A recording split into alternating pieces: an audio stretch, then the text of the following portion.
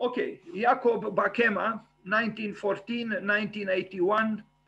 Uh, he was born on March 8th, 1914. Uh, very important uh, Dutch architect. Uh, he didn't work alone. He had a partner, but we'll, we'll talk about both. Let me say a few words about him. Uh, this was the man. Uh, and um, he meant a lot for, for, for modern architecture. I have seen, uh, unfortunately, only one building by him with my own eyes, so to speak, in Berlin, uh, an apartment building, uh, an excellent one. So Jacob Berend Jaap Bakema, as you see, was born on March 8th, 1914, was a Dutch modernist architect notable for design of public housing and involvement in the reconstruction of Rotterdam after the Second World War as you probably know, Rotterdam was, was uh, violently uh, affected by uh, the bombings of the Second World War, as opposed to Amsterdam. Amsterdam was lucky, but Rotterdam was not. Yet Rotterdam now is a, is is a, is a flourishing city, and some even call it the city of the future. Born in Groningen, Bakema studied at the Groningen Higher Technical College and the Academy of Architecture in Amsterdam, where he studied, among others, with Mart Stam.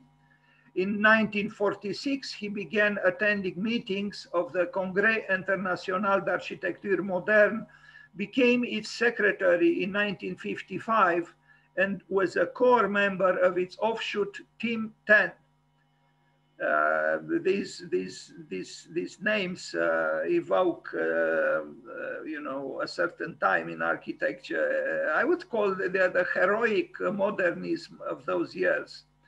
From 1948 onward, Bakema worked with the, the Van den Broek in the architectural firm Van den Broek and Bakema. They collaborated to design landmarks and neighborhoods in Rotterdam and around the Netherlands and participated in the 1957 Interbau project in Berlin. That's exactly where I saw the apartment building that they built. A remarkable colony uh, uh, constellation of, of, buildings built by very important architects from Alvar Aalto to Oscar Niemeyer to Bakema uh, to Gropius and even Le Corbusier built a, a unité d'habitation in Berlin, but not on the very site where the Bakema building is. In 1964, Bakema became a professor at Delft University of Technology, and in 1965 became a professor of Staatliche Hochschule in Hamburg. Okay, so here is uh, Bakema, um, younger. He was not, you see, we have now this uh, um, differentiation between architects and urbanists. But I think a good architect can also do good urbanism, although of course, uh, Le Corbusier might contradict us because of his controversial uh, Ville Radieuse. But still, uh, even if that, that project, urban project by Le Corbusier was criticized by certain people, we cannot deny its uh, creativity, its ingenuity, and its good intentions, in fact. Um, so, in my opinion, and it's not just my opinion. There are other people who think in the same way. A good architect could do um, urbanism, could do interior design, could do object design, and often the best of them do all of the above. Bakema was also an urbanist. He, he, I mean, you can see right behind him uh, an urban planning. And so, but he was also able to design uh, uh, buildings. Uh, and uh, I think we need we need to open up to to escape uh, excessive specialization because I think excessive specialization could could um, affect negatively uh, you know, the dialogue between various branches of, of, of, of, architecture. And, and that is not a good thing, I think. Uh, even Walter Gropius was uh, rather sarcastic about specialization when he said the specialists are those who always repeat the same mistakes uh, ad infinitum. And uh, I don't know if it's entirely true, but obviously show the, the, the, the irritation uh, Gropius had with, um, with excessive specialization with the so-called specialists. Uh, uh, Bakema was a generalist, and I think most good architects are, are, are exactly that, generalists. And it's not uh, necessary to go back in history to well-known examples like Alberti, who was a polymath and did so many things, uh, uh, and not to mention the others. No, uh, Bernini, Michelangelo, uh, even Bramante, Brunelleschi, they all practice various kinds of uh, related, interrelated fields. And architecture was, in a way, the, the queen of the arts. It was the culmination of bringing together various fields that connected with it. Um, so Van den Broek uh, and, uh, and Bakema, uh, here they are, sorry for the resolution of the, of, of, of the photograph, but you can still uh, uh, see or barely see, you can, you can see you know, two men uh, devoted uh, to the, the, exciting uh, exercising of, of, of, architecture, almost being childlike, you know, because because creativity does this. When you work on something that is exciting, uh, uh, you become like a child in a way. You even forget to eat and to sleep even at, for, for a while at least. And I, I think it's very, very important to, to, to, to underline the importance of creativity and to escape the, the, the deadening uh, effects of, uh, of uh, excessive concern with the so-called regulations. Uh, of course, they are, they need to be respected to an extent, but as, um, um, as, uh, as an interesting architect who practices still, he's still alive in Israel, uh, Tzvi Hecker said, Zvi Hecker said, a great building has to be illegal. I mean, he put it in a humorous way, but, but I think in a way he's right that a great building doesn't doesn't pay too much attention to all the restrictions that a certain uh, judicial or I don't know what system uh, uh claims uh, to be unavoidable. On the other hand, Louis Kahn differentiated between rules and uh, laws. Usually, we use the word law to to name a rule uh, Kahn said a rule is made by man, the human being, and the law is made by God, is divine. But we take the regulations invented by human beings, it doesn't matter with good intentions or with less good intentions, but they are made by human beings and we call them laws. But are, are they really laws? I mean, you know, they have inevitably uh, a percentage of, uh, of, of uh, imperfection, which is uh, uh, almost unavoidable uh, because they were produced by human beings. In fact, even if they are produced by God or were produced by God, I would say they, they, they would be not quite perfect. Because, I mean, sorry for this uh, maybe um, sacrilegious statement, but is creation truly perfect? I, I don't think it is. Uh, sorry, why does the fish big fish eat the small fish? Why does the the the the, the wolf uh, eat the deer? You know, there are so many injustices in nature that you wonder. You know, couldn't could I mean, why do we have uh, toothaches? You know, the toothache in itself shows that creation was not perfect. Anyway, sorry for this. Uh, you know, rather humorous, I hope, um, um, side uh, comments.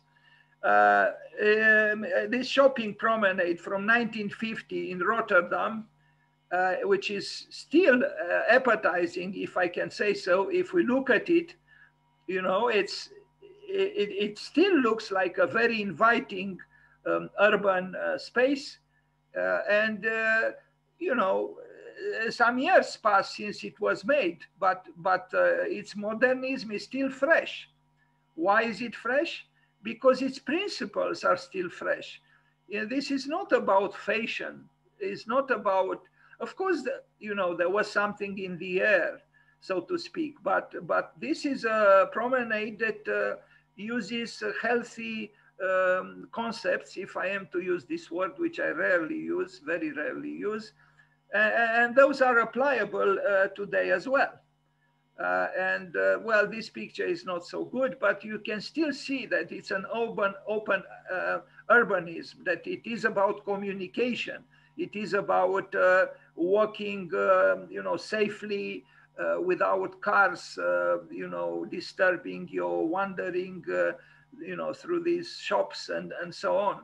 So it, it's, an, it's a quality urban space that Van den Broek and, and, and Bakema uh, um, projected and built. Uh, so I, I, actually like when, when I see an architect doing uh, an urban scheme because the creativity of the architect can, can help urbanism uh, uh, significantly. And I, I, I would prefer uh, um, an architect who makes mistakes in the name of creativity than a bureaucrat who doesn't make mistakes, who respects all the rules and regulations, but, but in the end creates so-called creates something that is dead or um, dry. We don't need that. After all, who were the, the urbanists of the Middle Ages? Those very, very charming cities and towns of the medieval times that we all admire when we, we were able to travel to Italy or I don't know where. You know, they didn't have, you know, incredible uh, dogmatic uh, codes. Of course, their lives were simpler. They didn't have uh, so many things that we have to handle. But still, we can learn something from the Middle Ages that the charm of the old towns and the old cities, where the so called imperfections of life are not avoided, uh, but exactly those imperfections are, uh, are giving uh, character and charm to, to, to, to the place. Our so-called scientific urbanism leads so very often to, to, to dead so-called solutions. Here we see uh, something that, that, that encourages uh, human interaction. And now, of course, uh, my words are a little bit uh, questionable now because of the pandemic. But the pandemic, let's hope, is, a, is, a, is, a, is an accident that one day will pass. In, in normal conditions, human beings like to gather, like, like to be together, like to uh, create uh, groups. And this is what we see here, very much so. Um, so anyway, this was done by Van den Broek and Bakema. I don't know exactly what their roles respective roles were in the uh, practicing architecture and urbanism, but I, I imagine they, they uh, collaborated very well.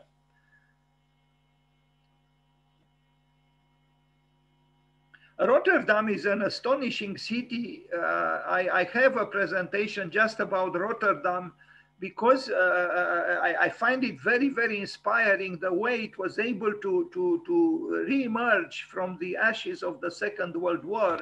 And even now it has very important architectural firms. It's, it's a very dynamic city, uh, very much open to experiments. And uh, as such, I think it is an inspiration for, uh, for the whole world. And I was wondering, you know, why is it that the Dutch have such remarkable architects and artists? You know, I mean, I can mention now easily, just from my head, uh, 10, 20 uh, artists and architects of the highest rank. And it's, it's a country that it has a population a little bit uh, smaller than the population of Romania. They are very close. One third of the country is under the level of the sea they don't have the natural uh, riches that we do. And yet this country is, is leading the world in, in many, many ways, and in architecture, certainly. And, and, uh, and why is it so? There must be an answer to this. Well, somebody said that it's because uh, uh, Rotterdam, not Rotterdam, but the Netherlands uh, is situated where it is. You know, there are the crossroads there you know, in the heart of the of Europe. Um, they, they have to be. I mean, it has to be a dynamic society. but they are good at so many things, you know, even in soccer, you know, even in football. And uh, I think they have ambition, but they have this openness, you know, they, they experiment and they, they are not dogmatic. Uh, I don't know. I admire them a lot. I actually, um, I, maybe I call them wrongly. I thought of calling them at one moment, at one time, uh, the Japanese of Europe because they experiment. And I'm thinking mainly about architecture. Now, in a way, the comparison is not appropriate because Japan also has uh, its own uh, very strict uh, hierarchical uh, relationships. And yet, in architecture, at least through the singularity of some, of some achievements, they are very uh, fruitfully experimental. I, I, would like to see this spirit everywhere. Actually, you know, uh, this this this openness. You know, now Radio Netherlands uh, from 1956, 1961. So we are talking about works that are more than 60 years old. Um, yes, it is a you know rather unsurprising for us today in the 21st century modern architecture but it's well done and it's, it, it still has a freshness, a vision, which I think is important for any building. This is the building that I saw uh, uh, in uh, part of the Interbau in Berlin. It's actually this one. Uh, and uh, uh, it's, it's, it's excellent. I don't know who did this one. I don't know if, I don't think they, they did this one as well. But this one I know for sure and it's it's yeah it's it's it's it's it's a very interesting building. I don't know if I have on this presentation. I prepared it for two three years ago. I don't know if I have the plans, but because for someone who died, I will talk twice about that architect on the day of the birth and on the day of when that person died. So I will I will have the chance to improve to develop the presentation. No, it, it's, it's a block of flats. But you can tell, even if you don't see the plans, that there are non-conformist gestures here. And there is something dynamic, uh, and it is. Um, an interlocking of functions, you know, maybe duplexes or uh, I have to I have to look at the plans. But I remember when I was there, I like this building very much. You see, why is it that a building where the architect is good is recognizable immediately? Because because it, it touches it touches your mind, it touches your heart, it it it, it touches your eye, it, it tells you something because it is something creative going on there.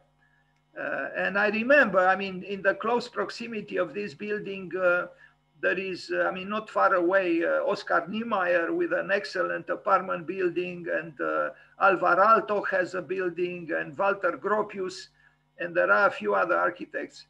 very interesting. So if the pandemic goes away, I suggest for those who want to go to Berlin, not to forget Interbau.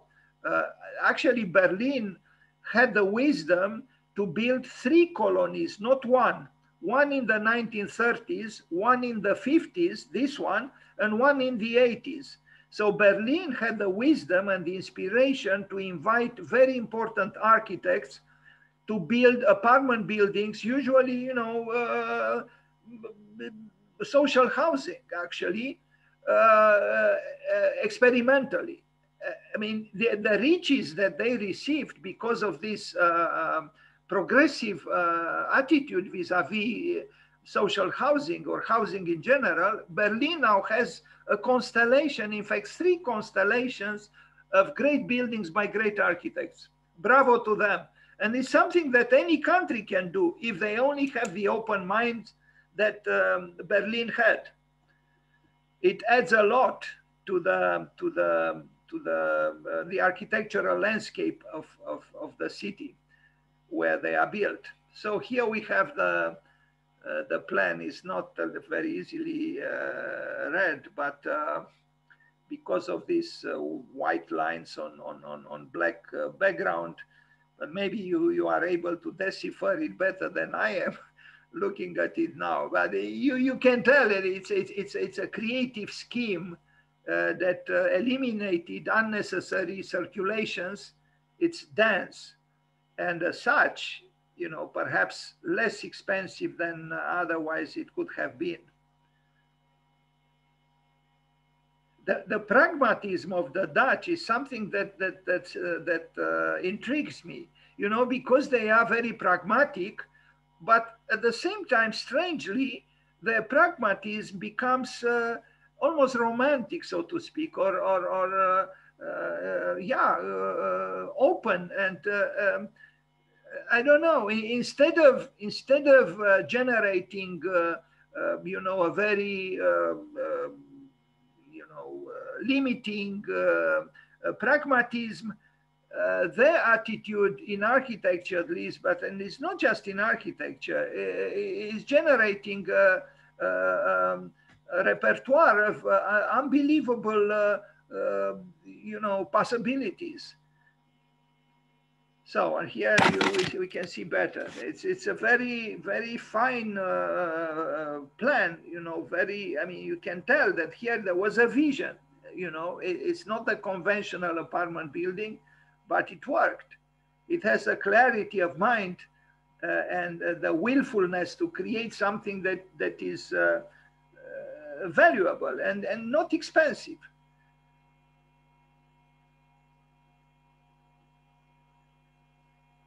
it's nice to contemplate human ingenuity, you know, uh, when, uh, whenever and however it manifests itself.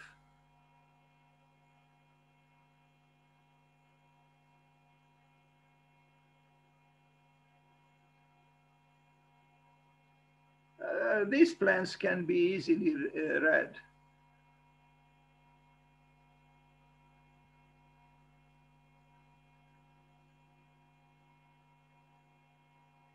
So uh, there are there are floors at different levels within the apartments themselves. This is interesting.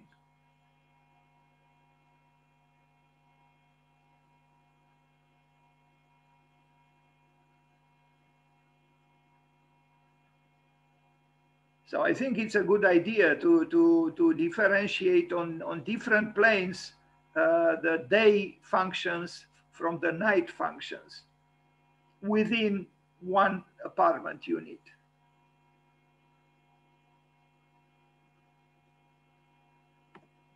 Now, uh, the, the, the, city hall in Marl from 1960 to 1965, um, well, what can we say? Maybe this looks a little bit dated, but maybe not. I mean, there is a complexity here, although one might say that is not the spectacular, uh, you know, display of forms that some of the, the architecture of today uh, sometimes arrives at.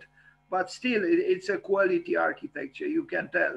And even here, there are uh, acrobatics, structural acrobatics, so to speak, because these cubes are elevated from the, from the ground and, uh, you know, supported by a single massive leg uh, it's a complex of buildings actually. And uh, look at this, you know, that the structure is not uh, something uh, hidden or, or, or to, to, to, to be ignored. There is creativity here at the level of, of, of, of the engineering or of the structure as well.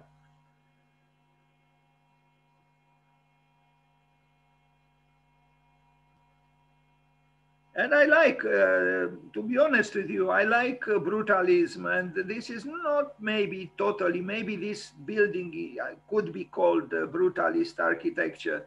But in general, I think the brutalism of those years has a, a robust feeling behind it, which is not the lack of feeling at all. So maybe the word brutalismus or brutalism is not totally adequate because when we when we think about the word brutal, we we we imply that uh, there is no feeling there. But I, I wouldn't say at all that the so-called brutalist architecture was without feeling. No, the best of it had in fact a lot of feeling. and look at this. Would you say that this is a building without feeling? No, but it's a robust feeling. It's a, there is uh, vivacity here. There is virility. Uh, there is uh, force in the good sense of the word. And uh, concrete, uh, concrete, uh, strangely perhaps, I mean, Frank Lloyd Wright called concrete a conglomerate, and, and thus uh, he didn't like it very much, but he, he did use it, but not as much as, as other architects and not as much as he could have. But he was rather critical about the concrete because he thought was a conglomerate.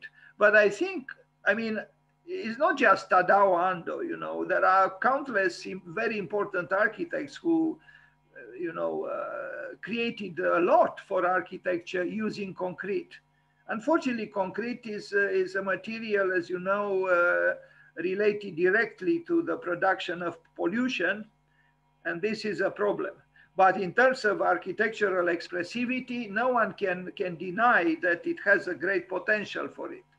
I mean, we see an example right here.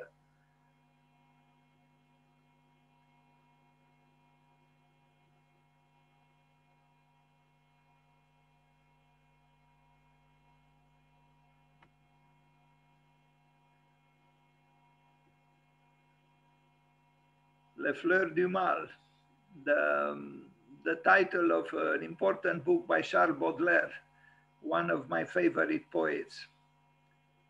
I love Baudelaire. And this year there are 200 years since his birth. Truly, truly a great, a great poet. Um, and a great critic as well. And it's not a common thing to have a great poet also doing great criticism. For example, Charles Baudelaire said that art has two halves. One half speaks about the transitory, the ephemeral, uh, the circumstantial, and the other half speaks about the eternal and the immutable. And good art needs both. And I would agree with, with Baudelaire. Good art needs both. And even Frank Gehry says the same thing. He said uh, in, a, in an interview, he said architecture is supposed to belong to its time and its place, but should also be concerned with timelessness in essence, he talked about exactly about the two halves of art that Baudelaire talked about. Town Hall of Ede, uh, 1965, 1976. Uh, what can I say? Um, yes, this is horizontal, is long, is uh, but it has uh, uh, an uh, outgoing spirit, which which I like. the Aula Technical University of Delft, where he was also a professor from 1966. Now this also, we are dealing here with the architect as a sculptor or with the sculptor as an architect. Uh, the sculptural qualities of architecture cannot be denied. Uh, architecture is not quite a sculpture as Brâncuși thought. Brâncuși thought that uh, uh a building is an inhabitable sculpture. I, with all due respect and affection for Brâncuși, I don't think he named with sufficient precision the specificity of architecture. Architecture is different from sculpture. It benefits from sculptural qualities. There is no doubt. But I wouldn't go so far to say that architecture is an inhabitable sculpture. That's a little bit, I think, too easy a little bit, but it is understandable such a statement from, from a sculptor, I think.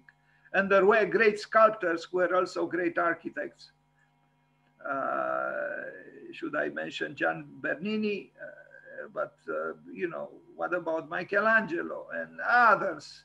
Even in uh, even Le Corbusier did great sculptures. He was not a sculptor per se, but I love the sculptures, the, the highly chromatic sculptures of Le Corbusier.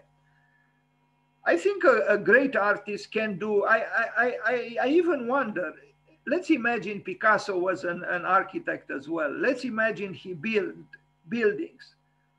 I would be very curious to see a Picasso architecture, for example. You know, he did, he even wrote poetry and plays. He did sculptures, he painted, he drew. I think he could have built as well. This is what I think. And I think probably many artists, or maybe not many, but at least some artists, those who are truly good, I think they can do architecture as well. Why don't we let them build? This is my question. Why doesn't society invest the artist with a trust so they can build? I think we would have some great surprises because I think artists, if they are genuine, if they are good, they could build sometimes very interesting buildings, as they did in the history of architecture. But the bureaucracy of these times does not allow them to build. Although in Vienna, they did allow them to build. Hundertwasser was a painter, and uh, Fritz Wotruba a sculptor.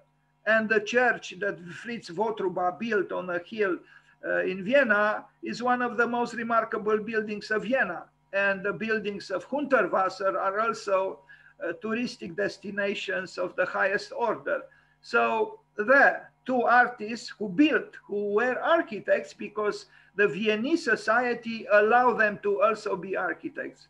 But this is not happening in all the countries, unfortunately. But one thing is for sure, here Bakema and Van den Broek were sculptors as well in a way. This is a very sculptural building, at least this part of the building and they handled concrete quite convincingly again. Bravo to them. It's, it's refreshing. It is, a, a, a, it is an encouragement to live and to be creative when you see an architecture which is itself creative and open and uh, experimental. Uh, whatever Peter Zumthor might, might, might have said, architecture can transform life and society. You, I, I wouldn't be so skeptical. Yes, maybe it cannot save life, architecture, but it can improve it. It, it, it, can give you an impetus to continue to live. It can encourage you to, to I don't know, it gives you oxygen, so to speak. Although architecture, when coming into being, is actually cutting down trees often, and so it takes away from the oxygen. But uh, beyond this paradox, uh, a good artwork and a good building is giving you spiritual oxygen, so to speak, uh, although it takes away sometimes the other oxygen. Now, I don't know why this little dog is staring at me right now or at us, uh, but the building is still gloriously asserting the powers of architecture, I think. And doesn't matter how you look at it, it's still interesting. Look at this. Yes, the vision of two architects that became flesh, concrete flesh, or flesh in concrete. It's fine. And it's fine 60 years or so after it's, you know, 50, 60 years after it's being built. Now, who says uh, that brutalism is, uh, is, uh, is uh, brutal, is wrong? No, brutalism is not brutal when it is at its best. No, when it is at its best, it is uh, provoking emotional reactions, but uh, not of pain or fear or anything. No, it's, it's a vivacity of vision, which is important. Now, another building for Delft from 1970. This one, I think, had, a, I mean, it seems obvious. Uh, there was a fire there uh, it happens. Architecture is vulnerable. Doesn't matter how many um, precautions you take, it's still vulnerable. Sorry, some of these pictures need uh, better quality. I hope I will improve this presentation for the next one on Bakema and it will come the time the Rathaus of in this town, 10, 10, 1973. Look at this. Now, who would say that this building is still not uh, relevant to architecture? I think it is. And uh, we wonder why. How is it possible? Well, it's exactly because art, and I include architecture here as well in this context, has those two halves that Charles, Charles Baudelaire spoke about. So it's not just about fashion, something that is uh, valuable and authentic uh, today, it, it, it would continue to be so even 100 years from now, and even a longer time. I like this building. I wish uh, we had in our country such, uh, you know, city halls. The clarity of vision, you, you, you, you can tell it is here. You know, if you live in one of these apartments here and you go to the city hall, you know, you go, I don't know, the building is inspiring you. You trust it. It's solid, but it has variety. It's exciting and inciting uh, uh, visually. It's important to make a building that uh, that uh, that doesn't leave you indifferent, and it has a level of honesty. This is also important because an, a building which has honesty, it, which is built honestly, uh, is encouraging you as a user or a, as a visitor to trust that you will find honesty within the building. The building is telling you this. You know, I am built honestly. You can see how I am built. You see the materials I am built with. And this generates trust. Good work. Now, a Reformed Church, 1954, 1958. Look at this. Why is it we don't build in the country we are in churches like this? To me, it's a terrible, terrible, terrible loss. You know, so many churches were built, but but most of them without any architectural value, including the big cathedral, which is now approaching its uh, construction process. We don't even know who the architect is. It is unbelievable, actually. How come you know, when we look at Rome or uh, Florence or all those cities in Barcelona, or you name them, you know, the church used the greatest architects to build buildings for, for it, for the church. But not in our country. In our country, we don't even know who the architects were, if indeed they, there were architects.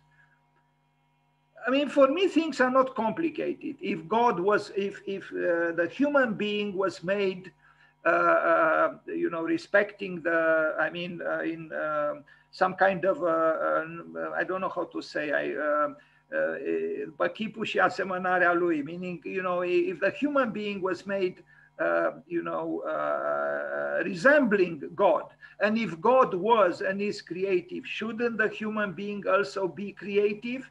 Is the best way actually i think to to honor the relationship between you and god. But when you are not creative you are betraying your very raison d'etre to me things are very simple. And not only that you are betraying your raison d'etre but you are also betraying god. If you are not creative this is an insult to the one who created you and who wanted you to be like him. If i am to speak uh, you know uh, quoting uh, imperf imperfectly from, from, the, from the Bible. Anyway, it's a fine church, and even the children seem to like it. And you would say, This is not a church, this is a kindergarten. Even better, a church which gives the feeling, a, a church where the children are joyous is a good church in terms of architecture, I would say. Uh, I, I, don't understand why the, the Orthodox uh, Christian church doesn't understand that, that, that, that, that the building should be indeed creative. Otherwise, we are betraying the very beneficiary of the building, that is God Himself.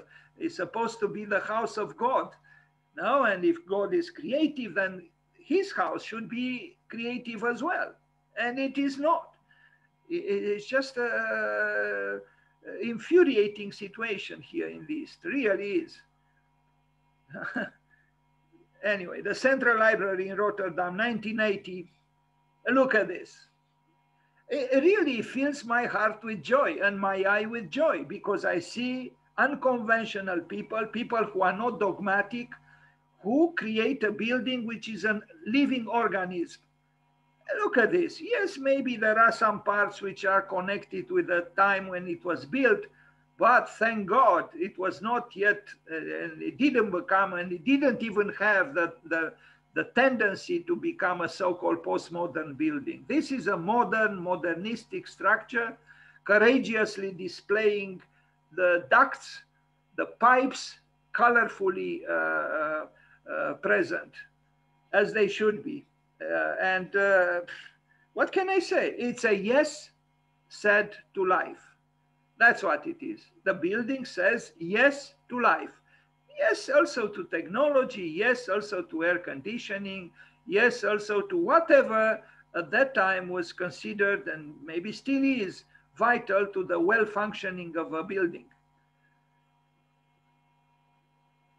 But there is also the element of playfulness what I see in the great works of architecture and in the great works in, in anything, writing, uh, poetry, or composing music, or anything that is creative, is done by uniting work with play. You cannot do work that is creative without playing. You have to do both. I mean, Einstein, who was a scientist and was not a, a poet, even had the, the, the audacity to say playing is the best research. Now that, you know, wouldn't it be beautiful if the doctoral papers were done with a playing spirit? Would be great. Unfortunately, most of them are not done in this way, and they are condemned to being so-called non-scientific if they allow themselves to also be joyous. Because you cannot have art an architecture and anything creative where there is no joy. You have to have joy. And there is joy in these pipes. And I think I would say even that uh, uh, tower uh, of that old church smiles uh, um, with with uh, with uh, with affection towards these these pipes which are saying yes to life. And the interior also, yes, there is functionalism. There are there is you know, uh, the comfort of the escalators, but there is all the dynamic space. And look, uh, you know, these, uh, these uh, rotated, rotated cubes, which in some parts of the world would, would, would have never been built and would never be built, but the, the, the open-minded Dutch did build them uh, right in the center of Rotterdam. And this is the library. And bravo to them, really. Uh, bravo to them. I salute them radical pedagogies. He talked about radical pedagogies and he applied them. Would be so great to have radical pedagogies ourselves, wherever we are in this world. Look at him. I'm sure they loved him. They loved the professor, you know. They, uh, well, yes, there was a time, you know, the 60s, the end of the 60s, the beginning of the 70s when there was something in the air, the students fought for against uh, banks, against wars. They fought for love. They wanted to, to transform the world. It didn't last for too long, that, that spirit, it's true. But there was something then there, you know, and these people were animated by an idealism which now I do not see. Uh, I don't know why I put this. Um, yeah, there is a website. This is the website. You can photograph it or I can send it to you where you find more things about the radical pedagogies of Bakema. Okay, so now we go. So happy birthday, Bakema. And now we'll go to uh, uh, interesting artist. This presentation is shorter on uh, Anselm Kiefer because it is his birthday as well. And I thought that architects should know about art, contemporary art as well. And Anselm Kiefer is one of the most important artists today and not totally uh, uninterested in architecture as you will see. So he is today 71 years old. Am I? No, 74 years old. Yes. Now I'll just show some of his paintings. He was because he was born in 1947, immediately after the Second World War, and because he was born in Germany, no doubt he was very affected, as his whole nation was very affected by the Second World War, which they provoked. So the guilt, the guilt animates the spirit of Anselm Kiefer very, very strongly. But through creativity, and assuming, uh, you know, the, the, the, the, shadows of that war, he was able to create a powerful art which is not very optimistic is true but through the very fact that it is highly creative in that i think uh, uh, the positive forces of life won. Um, there are many layers of meaning in his paintings. Uh, you know these massive architectures that that make you wonder. Architecture at times at times not always but at times loves massive walls and massive vaults. It's about power it's about authority. Um, you know it can be white like in the in the visions of albert speer and hitler himself or it can be uh, otherwise but one thing is for sure architecture does collaborate, uh, does, does, does uh, even in a relationship of complicity with power, with authority. It always did, and it will probably always do so. Um, he, in his own estate, he has in France a, a big site where he, he bought.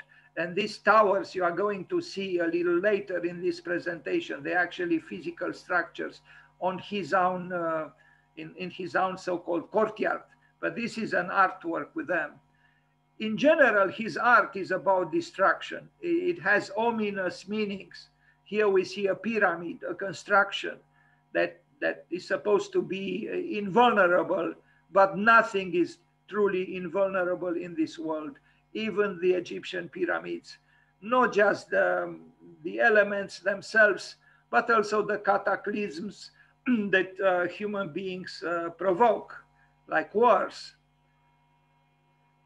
Kiefer is an interesting architect, uh, artist. Why do I keep saying uh, architect? Here he is, the one on the left, a little bit strangely dressed, considering he has a suit and sandals, but uh, artists can be eccentric, so we can for, forgive him for that. Um, another painting by him, you see the, the, the, the shadow, the echoes of the war, of the Second World War. Uh, do we reflect enough on what the war means? I don't think we do. And I'm very afraid that sooner or later we'll generate another war. In fact, local war, wars happen all the time even between a brother and a brother, even between a brother and a sister, even be between two lovers. Wars happen all the time because we are unable and even unwilling, it seems, to achieve peace, to desire peace, to, to want to, to uh, create even a, a, a vulnerable uh, sense of, uh, of, of peacefulness. There is something in us. Now, I don't know, Heraclitus thought that uh, war was the father of all things and is the father of all things. But I don't know exactly what he meant, meant by war. He certainly could not have meant the nuclear war. The modern war is a, is a calamity which should be avoided by all means. It's enough to think, in fact, tomorrow, in fact, this night, tonight, March 9th, towards March 10th, this very night in 1943, I think it was 1943 or 1945, I'm a little bit confused. Either 1943, but it's possible 1945, Tokyo was bombed uh, in a devastating way. I mean, we know about Hiroshima and we know about Nagasaki, but Tokyo was was was was was um, damaged by different kinds of bombs. I don't know, 120,000 fire bombers or something like this. I'm not very good with numbers, but I will double check. And I would like tomorrow to talk about this subject because we have to talk about such important issues so they will not repeat themselves again. I think at least 100,000 people died on that night between the 9th of March and the 10th of March. This should never, ever, ever happen again. But I'm afraid it will happen again because there is like a devil in, in the human being that, that makes us unable to achieve that peace which we should strive towards, uh, uh, towards uh, achieving. I mean, we see broken glass here in the in the in this installation by Anselm Kiefer. Well, you know, if we look at this mammoth, this construction and the broken glass around it, what do we actually see? We see war, we see suffering, we see tragedy. That's what we see. And it's ominously connected with authority, with power, because human beings need badly power. You know, they suffocate if they don't have power. And in the quest for power, we kill each other. That's what we do.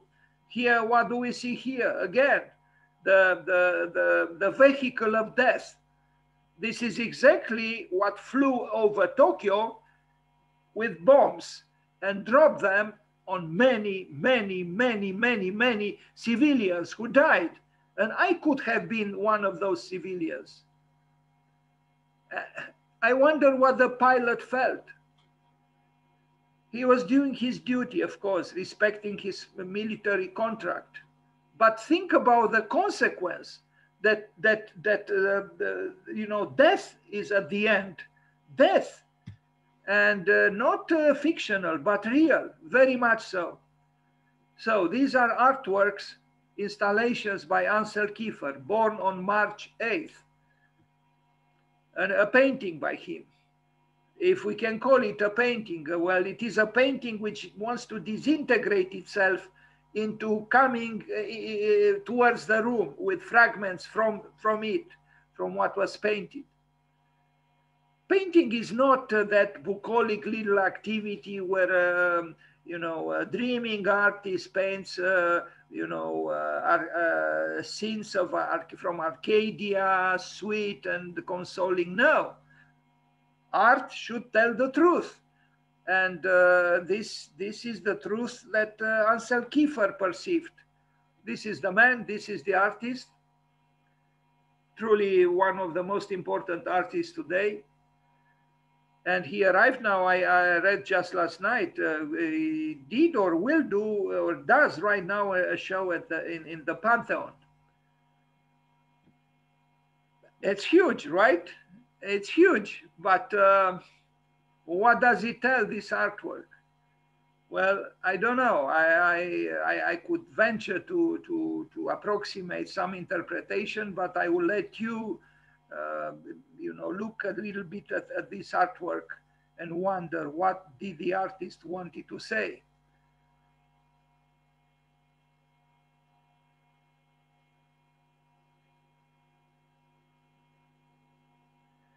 an artist, a good artist, a good writer, a good musician, a good sculptor, a good uh, architect, a good anything should be a witness, a witness to his or her own time. Picasso was a witness when Guernica happened. Uh, I think, I think architects, because of the complexity of their positioning in society, often are less witnesses I am thinking of, of Louis Kahn, who said, a painter, in order to protest war, can make the wheels of the war machine square, but the architect has to make them round. That's what Kahn said. And I have the highest respect and affection for Kahn, but in this I disagree with him. I think in the case of war, the architect should also make the, the wheels of the war machine square so they could not run. In other words, the architect should also oppose war, not just the painter and the musician and so on. But architects very often they don't do this because of the complicity between them and power, because they cannot build without those in power. So uh, it's a it's a difficult uh, situation. But I think when it comes to the gravity of war, the architect should also oppose it concretely, practically, factually. Because really it's about death and nothing less. And we cannot play games with death. And we certainly cannot provoke it ourselves to provoke so much suffering as if there isn't already enough suffering in the world without us helping it or provoking it.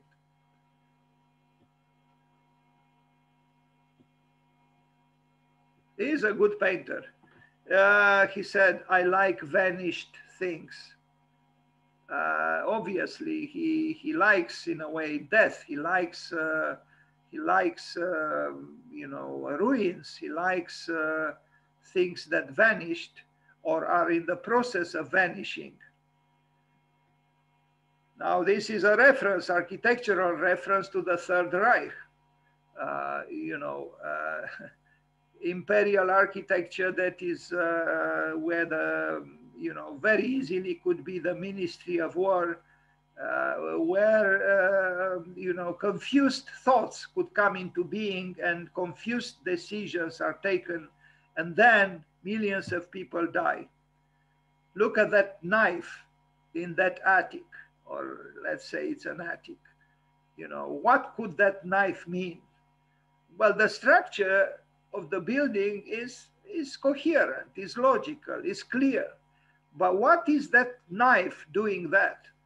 You know, it's, it's the symbol of the, of the, the inability of man to keep the order he, he creates ordered. And uh, then uh, the, the, the, most beautiful structure falls apart. Just yesterday, I showed some, um, uh, some churches in, in Italy that were ruined by the Second World War. Uh, he also uses flowers, but flowers they are they are they are you know they are they are exhausted flowers, if I can say so. The fragility of flowers, the flowers that lose their their, their freshness because of man. Because of man, the flowers are suffering too, very much so.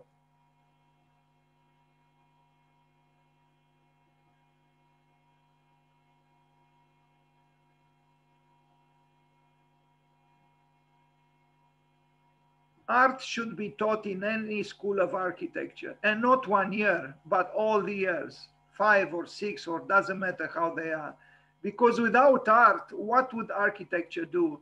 Even Le Corbusier said very, very clearly in his letter to a group of young architects in South Africa, a beautiful letter which I always recommend and where I find myself support when I feel I am uh, uh, dis disheartened by I don't know what uh, Le Corbusier says the architect should be the best informed art lover. He knows what he was saying. He knew what he was saying. The architect has to be the best informed art lover, and we are not. I know this for sure, because art history is neglected, is not even taught in the university here, in the schools of architecture. We are ignoring the very essence of architecture because architecture becomes architecture or a building becomes architecture exactly when, at least at some level, it arrives at the status of art. And if, if architecture was not an art, then the histories of art would not contain in their pages architecture. But this is not at all the case. Very, very, very rarely I saw a book with a history of art that didn't contain architecture. Why? Why is architecture present in almost all the books with a history of art? Because at its best is an art. That's why. So to me, it is completely uh, incomprehensible that art and the history of art are not taught in the schools of architecture or are, are taught uh, you know, kind of like uh, an optional little course, obscure that nobody takes and is, doesn't even receive grades, as if it is unimportant. It is hugely important because it is about the soul of architecture. That's what it is about. How could we ignore the soul of architecture? In the name of what? Uh, I think it would benefit greatly if we enliven the hearts of the students of architecture by teaching them well the word teaching maybe is not quite the appropriate one but you understand by offering them, them the chance to immerse themselves into as much art as possible. That's where the exuberance comes for, from that's where the, the, the, that that that intensity of feeling comes from from the, the artistic side of architecture not from the other sides I don't think uh, you can become exuberant by uh, uh, resolving, uh, you know, sublimely, sublimely uh, a parking lot or uh, the, the, the divine positioning of a refrigerator in a, in, in a kitchen. No, no, no. You must have a, a perverse state of mind to become ecstatic uh, when it comes to such prosaic matters. No, the, the, the, the, exuberance, the exaltation that Walter Gropius thought should uh, uh, transform the craftsman into an artist, and, and, and he included the architect here, should come from, from, from lofty matters, not from prosaic matters. Uh, but uh, this doesn't seem to be understood for some reason, and I don't understand myself why. We need students and architects with open hearts and with idealism and exuberance, we need to, to immerse them in art.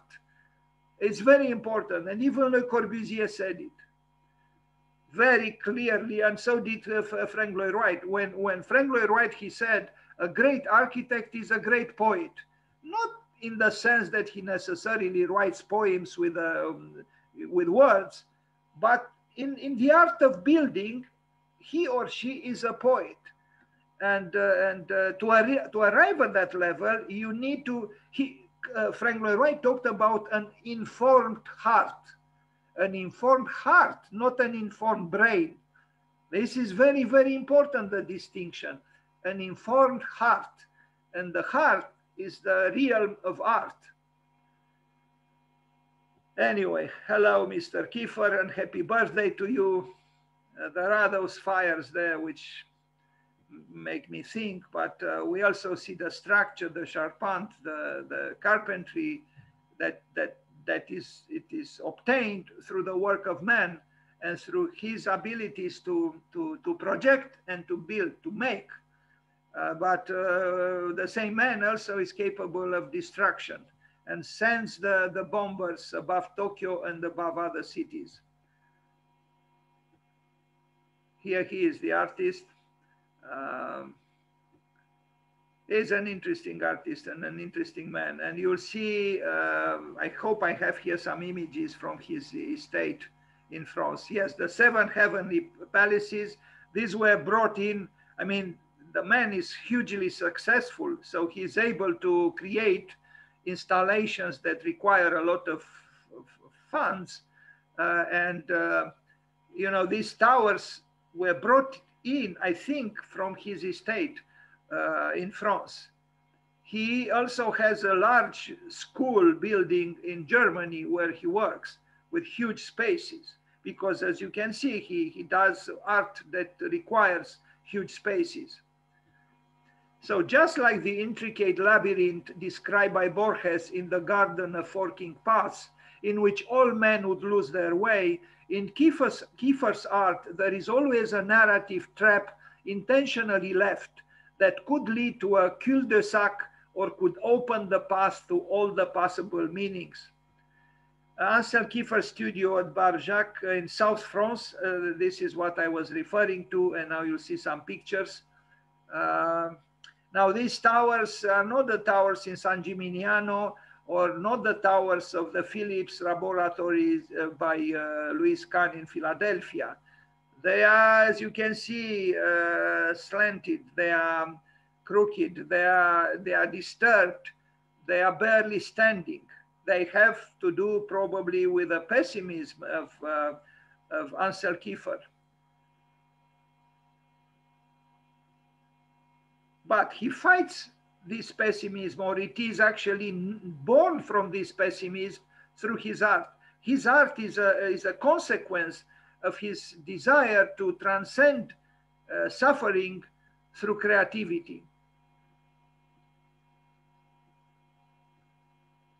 This is also on his estate uh, in France. I don't know exactly what it is. It looks like some kind of a amphitheater uh, anyway, this is this is this is certainly not the the habitual uh, vision of uh, uh painters, uh, you know, locus, but we, we, we, we are dealing here with an artist who transcended the vision of an artist painting quietly little squares on a canvas, on a, on a, on a uh, chisel.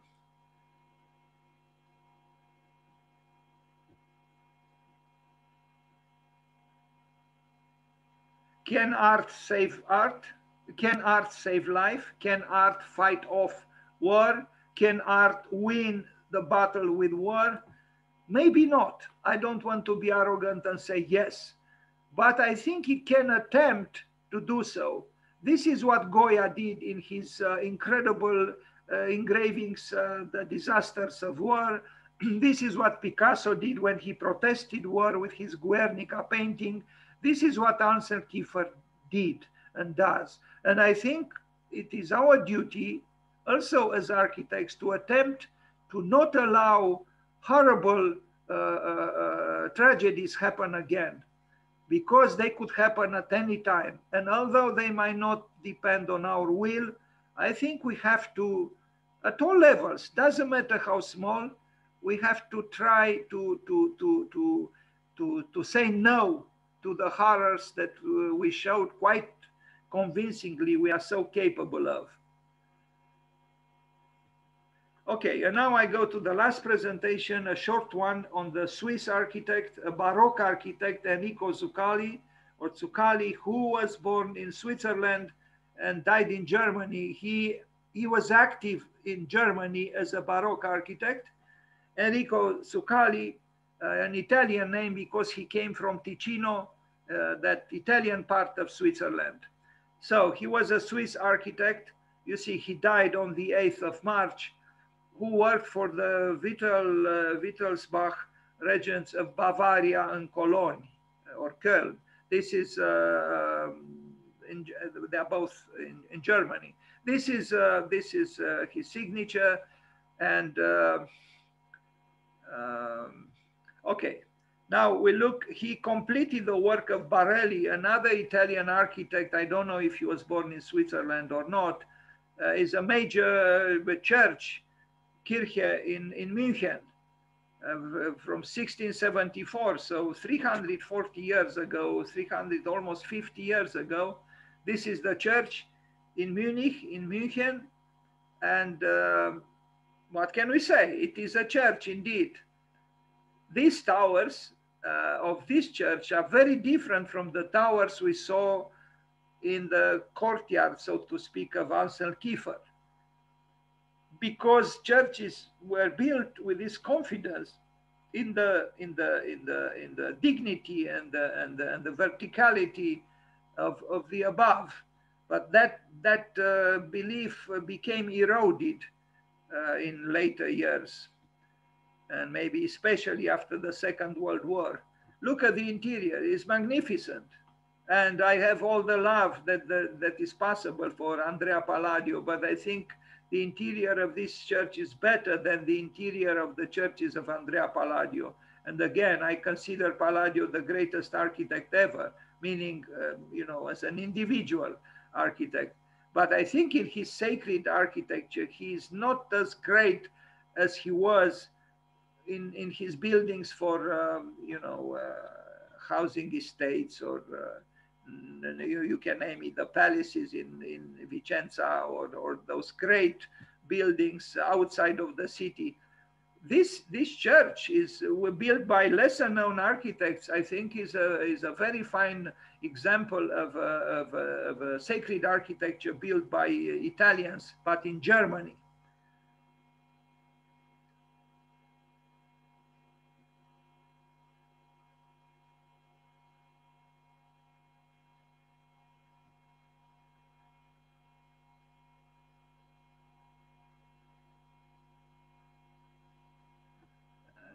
Strange this uh, figure here now that I look at it, you know, it's um,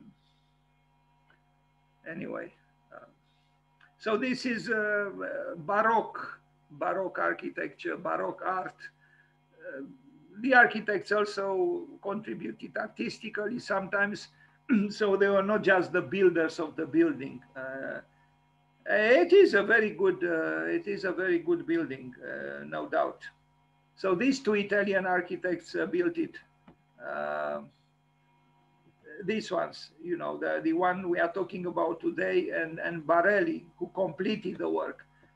Uh, I, I, know nothing about Barelli, but uh, hopefully I will find out more about him. And maybe when the time comes, we'll talk about him as well. So active in Germany, but coming from um, either Switzerland or, or, or, Italy. This whole square was done by them. Uh, but Enrico, he, he I, I, I couldn't find out uh, until this presentation what exactly he did here besides his work in, on, the, on, the, on the church itself. Maybe this structure, which is inspired by a very similar one in, uh, in Florence, uh, but this is the, the a place, a square in, in München, which is uh, loved by the by the the, the, the, the inhabitants of München because of its Italian uh, spirit or, or character.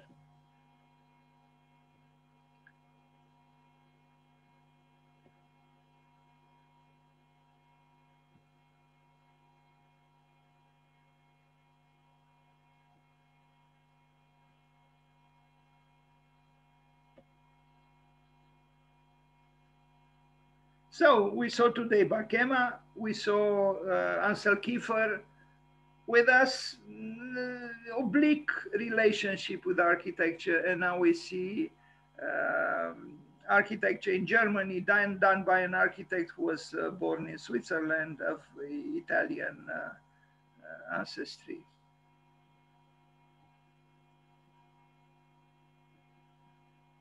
I think it is nice and fruitful and interesting to cross frontiers between various disciplines. This is just uh, an attempt and maybe not the most, uh, uh, you know, uh, provocative one, but uh, I think the relationship between art and architecture is, is, is to be explored as deeply as possible. Uh, this one, unfortunately, I couldn't find pictures. I should have erased this title, but this one I did uh, this palace from 1684 to 1689. Um, this is, uh, you know, uh, maybe it's not very remarkable, although there are, there is another building that you are going to see. It was also not very clear to me. There are pictures here, sometimes with water, sometimes without, maybe it was just a flooding. Um, but water is always nice in the proximity of buildings. And you even see the boat um, uh, like in Venice. Anyway, the interior is Baroque indeed. Uh, and uh, well, the, the, the, the flat, uh, the, the, uh, the slab, uh, you know, the floor itself is, is not Baroque, but everything else is, mainly the ceiling. Maybe too much so, considering the rest. Another palace in Munich from 1694. Um, this one an urban, uh, I mean, integrated within the front, uh, the urban front uh, of the city, but it, it, it, it has, it has distinction, I would say. It's a fine building and it's uh, more than 300 years old. Kept well because the Germans do know how to take care of, of what they have.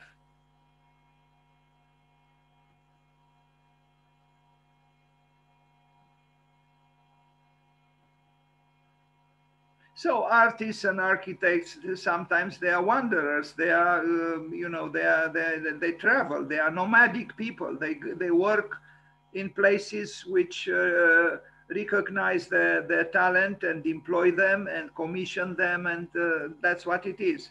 The Electoral Palace of Bonn. This is a giant building. Um, 1697, 1702, later completed by another architect that whose name is there. Uh, but it, it has distinction, it has dignity. It, it, is a governmental building, but uh, it is it is a fine building, and uh, I think uh, the the landscape in its simplicity adds to its um, dignified um, grandeur.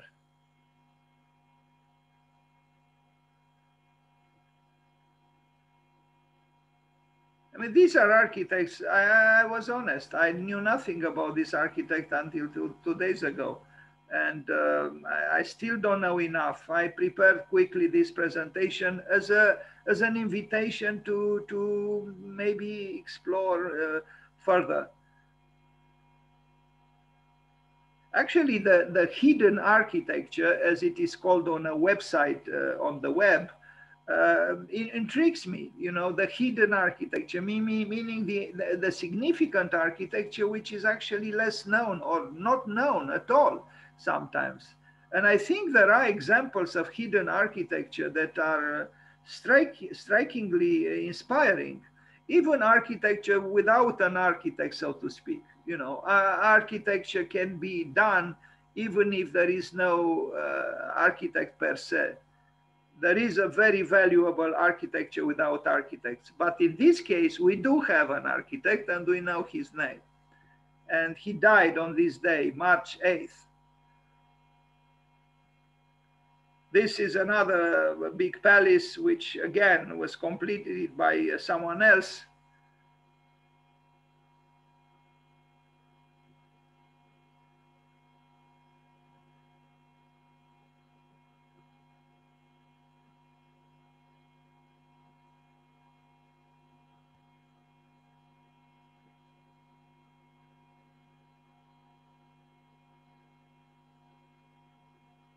there was this, uh, you know, uh, preoccupation with, with, with such palaces all over Europe. And some, more, um, some of the more affluent uh, cities or places afforded to build uh, significant such palaces. Versailles comes to mind all the time, and then uh, Schönbrunn in Vienna, and there are others.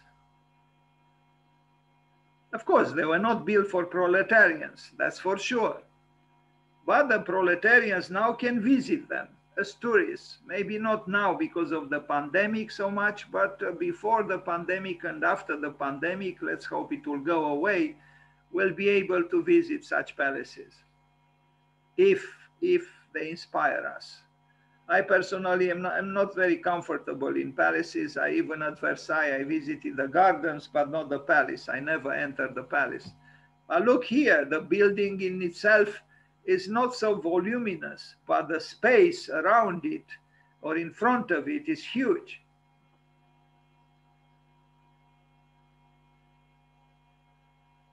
Large estates, of course. And this might be the last picture. No, but uh, similar to the last picture, we are approaching the end. So please be kind and, and, if you are still here, uh, be a little bit patient. In a few minutes, two, three minutes, we'll end. I wonder why is it that we don't use such figurative, uh, you know, uh, arts or representations in our buildings today? Uh, would, would they be considered too sweet, too, uh, too naive? Maybe, maybe, yes. I mean, could you do something like this in a in a brutalist building by Bakema? Maybe not. Um, anyway, uh, intriguing questions, perhaps. So this is the palace, which I have some difficulties to pronounce, but maybe not so big. Schleißheim, Schleißheim Palace.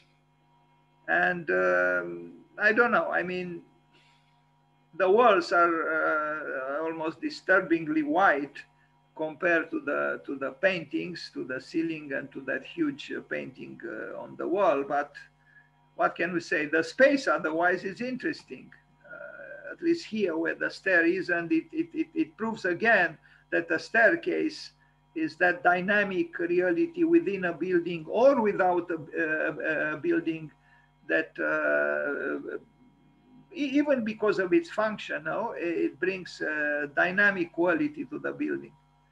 A dynamic quality which from the outside is not so obvious, at least uh, in this building. But inside, though, is a different story.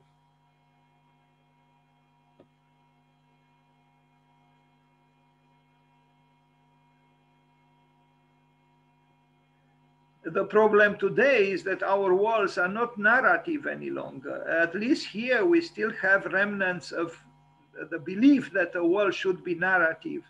And, uh, you know, those sculptures perhaps do tell a story. Those meaning I personally do not know, but maybe uh, those more informed of that time knew what, what they meant. Maybe they meant something. Water is always, uh, always um, welcomed. So are staircases. And so are sometimes uh, painted ceilings. Sometimes. I think this is the last image of this presentation, and I, I, I, I like it. It's, it's, it's the, this uh, return of the ornament, and uh, there is a certain narration here too. It makes you contemplate. It makes you remember Lorenzo de' Medici, who symbolized vita contemplativa. And uh, I think the ornament has uh, the right to come back to an extent, not to suffocate us, as maybe the end of the 19th century did, but at least discreetly at the beginning to have a, a, a return, to come back. No, it was not the last image. Um, now, okay, so we end it today, and I, I, I thank you for uh, for being present here. Uh, let's see.